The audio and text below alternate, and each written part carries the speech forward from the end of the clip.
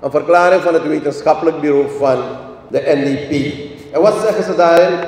Ze zeggen een heleboel dingen. Maar omdat het wetenschappelijk bureau is, wil je dat ding lezen met een wetenschappelijke bril. En dan kijk je wat ze geschreven hebben. En het eerste wat ze schrijven is dat minister Hoefdraad de beste minister ooit in de Surinaamse geschiedenis is geweest. Wel, als je dat zegt, kom met wetenschappelijke cijfers. Vergelijk dat met andere ministers van Financiën. Die hebben we gehad. We hebben Chulsetni gehad, we hebben meneer Mungera gehad, we hebben meneer Hildenberg gehad, we hebben meneer uh, gehad. Laten we kijken wat hun beleid is geweest en wat jouw beleid is geweest en dan vergelijken wetenschappelijk of iemand als beste gekwalificeerd kan worden.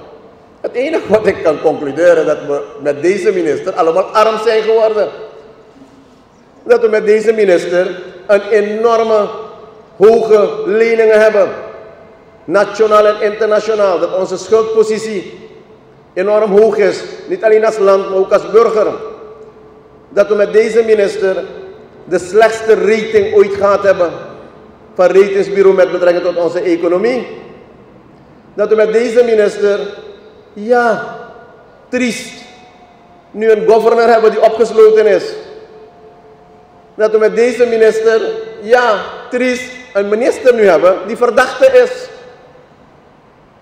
Triest in de Surinaamse geschiedenis dat beide autoriteiten, beide monetaire autoriteiten, de status nu van verdachte hebben, waarvan één opgesloten is en één in staat van beschuldiging gesteld zal moeten worden. Dus mijn mensen, als je zegt hij is de beste, kwam met fact en figures, maar dat geeft ook aan de kwaliteit van het wetenschappelijk bureau van de NDP.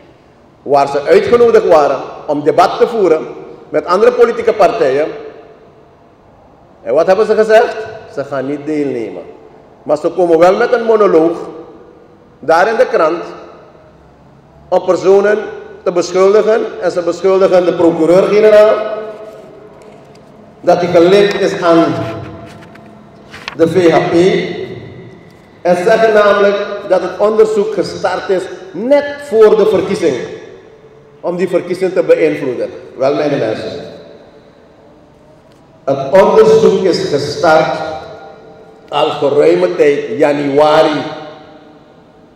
En wie heeft toen gezegd, namelijk dat de minister van Financiën verantwoordelijk is voor die handelingen waarvoor de governor in feite beschuldigd wordt. Niemand anders dan de advocaat van de governor van Trek. Publiekelijk had hij gezegd dat de minister van Financiën verantwoordelijk is voor de handelingen. Dus, mijn mensen, tweede is dat Van Trek zelf bij de rechter verklaard heeft wat de betrokkenheid is van minister Hoefdraad bij al deze misdrijven. Zijn meester kan hij advocaat en Van Trek van de VHP. Hebben ze iets met de VHP te maken? Ze hebben niks met de VHP te maken. Ze zijn geen VHP'ers. Wie mag zelf beoordelen tot welke politieke partij ze behoren. Of tot welke politieke partij ze gelinkt zijn. Dus nogmaals, het wetenschappelijk bureau dat deze mensen probeert te linken aan de VHP mag zelf beoordelen in hun eigen administratie daar tot welke politieke groepering deze mensen behoren. Maar ze zijn zeker geen VHP'ers, maar het zijn juist zij die publiekelijk en bij de rechter verklaring hebben afgelegd over betrokkenheid van minister Hoefdraad. Er zijn te lastenleggingen waaruit blijkt namelijk dat gelden zijn weggemaakt van de centrale bank, goederen zijn aangeschaft in strijd met de wet, dat er daar 17 overheidsgebouwen zijn verkocht aan de centrale bank in strijd met de wet voor 105 miljoen euro.